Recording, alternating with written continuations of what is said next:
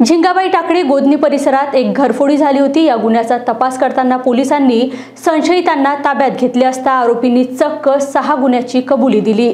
आरोपी हे कुख्या चोरटे असून त्यांच्याकडून आणखी गुन्हे समोर येऊ शकतात अशी शक्यता पोलिसांनी व्यक्त केली आहे. दोन आरोपींना अटक केली असून पुढील तपास पोलीस करीत आहे. आमच्याकडे एक फिर्याद आली होती. त्याच्यामध्ये त्यांच्या घरामध्ये घरफोडी झालेली होती आणि घरफोडीच्या ह्याच्यामध्ये गोदनी झिंगाबाई टाकळी रोडला गोदनी रोडवरती ही घरफोडी झालेली होती. त्याच्या तपासामध्ये आम्ही दोन संशयित आरोपींना आणलं होतं. त्यांच्याकडे जेव्हा अधिक तपास केला तेव्हा त्यांनी ही घरफोडी केली होती असं समजलं.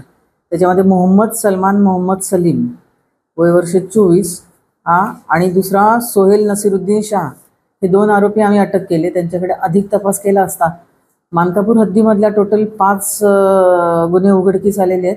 त्याचप्रमाणे कळमना येथील एक घरफोडी उघडकीस आलेली आहे.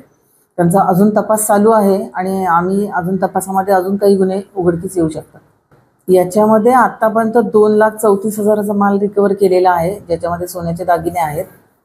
अधिक तपास चालू आहे. अजून एक दोन ठिकाणी आरोपीचा आम्ही अजून पी सी घेत आहोत. अजून एक दोन ठिकाणी रिकव्हरी व्हायची आहे. रिकव्हरी होईल. अजून इतर गुन्हे पण त्याच्यामध्ये डिटेक्ट होतील आणि आरोपी रेकॉर्डवरचे आहेत. याच्यामध्ये आमचे डी बी पथकाचे ए पी आय पाटील आणि त्यांची टीम जी आहे त्यांनी ही कामगिरी केलेली आहे. वरिष्ठांच्या मार्गदर्शनाखाली आम्ही ही कामगिरी केलेली आहे.